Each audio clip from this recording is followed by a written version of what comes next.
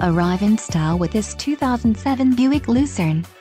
If you are looking for a first-rate auto, this one could be yours today. This vehicle comes with a reliable six-cylinder engine, connected to a smooth shifting automatic transmission.